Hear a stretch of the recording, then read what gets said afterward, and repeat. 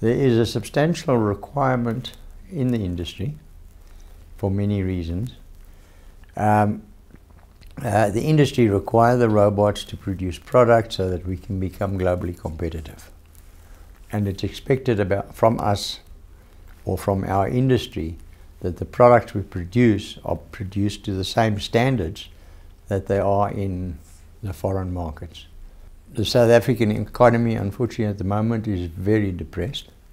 So there's not a lot of huge investment, hence not a lot of exports, other than to a reasonable extent the automotive industry, who are still investing and have trust and belief in the South African economy going into the future.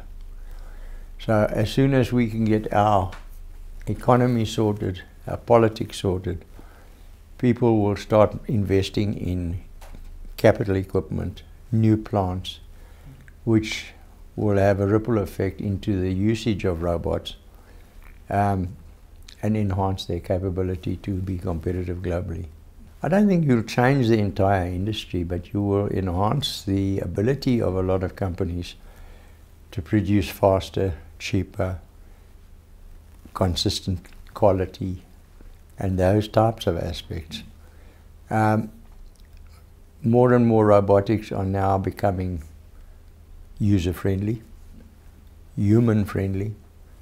We talk about collaborative robots, where the robot works together with a person without harming the person but assisting the person. So that is a new development on the horizon. We already have such machines.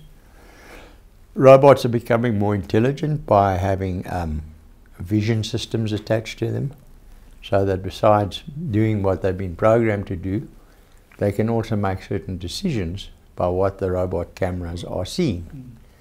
Again, making it easier to program there's more and more offline programming where um, engineers can, at a remote location, program the actual robots to perform various tasks.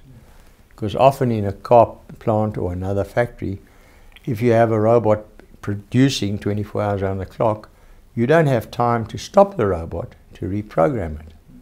So it's convenient then to have an offline programming package where you can prepare the programs while the robots are running. And then during the night or shutdown periods or whatever, you can download new programs. I've had a substantially long relationship with the Institute. I've been a member for going on, I guess, 25 to 30 years. Chris Smallbone, the original Mr. South African Institute of Welding, was a good friend of mine. And I have been a member since then. Um, I've been honored with awards from the Institute um, and uh, various other things. So we, we have a good relationship. And we continue with this relationship in terms of trying to support them, also to utilize their facilities for educating our people in the welding industry. Uh, importantly so because Yaskawa robots predominantly in the world are used for welding. And without good welding people behind the robot, the robot could never weld. So for us, it's a very important link. Okay? Um, we are currently in discussions with the Institute whereby we're going to be giving them a complete robot welding system, high technology, production type machine, not a table model toy. And we trust that they will be able to then offer courses to their current welding students where these students have the will and the wherewithal to progress past just welding to become robotic welding technicians. Mm. So this we're hoping is going to grow into something more substantial.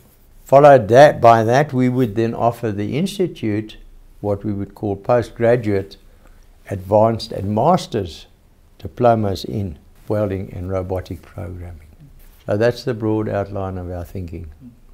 And thereafter, once this is up and running, which we believe could take a year or two, we will start looking at enterprise development, where we try and develop key students who have come through the process of welding and robotic education to become their own man, to have their own business, and to offer their facility to the industry.